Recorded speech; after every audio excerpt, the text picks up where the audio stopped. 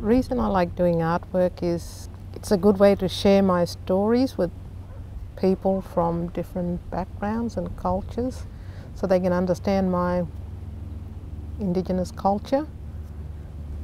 If someone takes away painting overseas, it's like taking a bit of me with them in, in, my painting.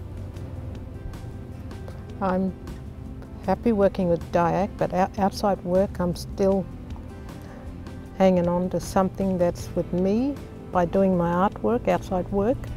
So it's rather than just forgetting about my artwork with the work, I just want to make it a bit of a mix. I wake up in the morning, have brekkie and then put my shirt on, DIAC t-shirt. And that makes me proud that I'm going to work.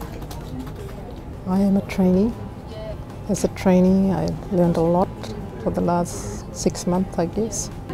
I've learned a lot of new things that I've never learned before, like learning new skills and working with my team members. They, they're very supportive, just helping case managers doing, getting new files ready for new case managers coming from Sydney, Brisbane or wherever. It's been good so far and I'm I'm still here, standing. Since I started at DIAC, I never looked back since.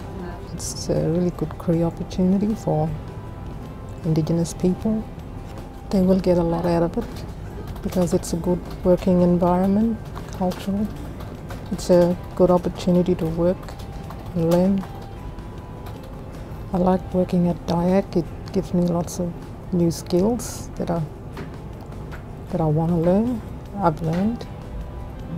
And I'm really pleased that I'm here.